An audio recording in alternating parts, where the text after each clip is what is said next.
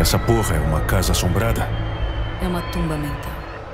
Os voluntários que estabeleceram as bases para a Collective. Os primeiros grupos dela acabaram se matando. O grupo 30 enlouqueceu. Os membros do 101 mataram uns aos outros. O 73 se matou. O grupo 204 foi o mais bem sucedido. Sobreviveram. A consciência deles agora está no mundo imaginário, que nós chamamos de limbo.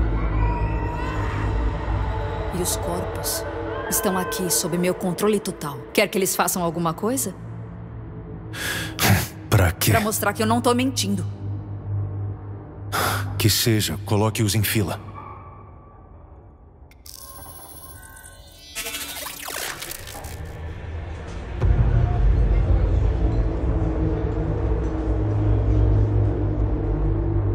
Continue.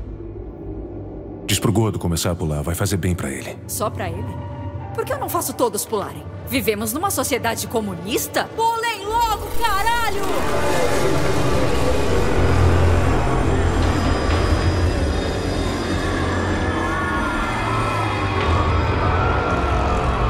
Isso é insano. Por que vocês fazem essas merdas? É foda. São uns coitados. É aí que você se engana. Quimicamente falando, eles estão todos muito felizes. Entende? É disso que se trata a Collective. E o mundo inteiro poderá ser dessa forma. Por que Sechenov transformaria todos num bando de idiotas? Ele tentava sacanear o mundo, fazendo as pessoas correrem peladas e agirem como animais? Não. Conseguimos evitar a degradação da consciência individual. Memórias, comportamento, padrões de fala, todos preservados. Mas tem uma coisa que eles não têm mais: nenhuma gota de livre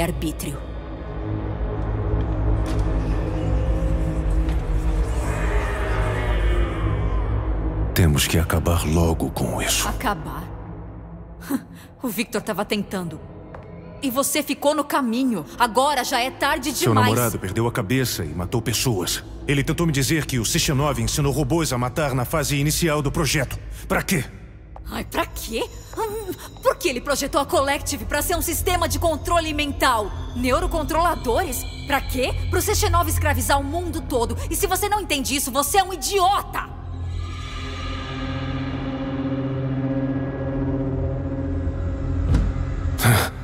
O chefe nunca faria isso.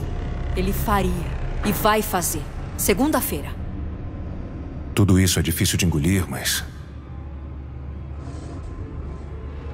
Eu vou te ajudar. Qualquer que seja o seu plano, tô dentro. Tá disposto a se virar contra o Sechenov? Depois do que acabou de me mostrar.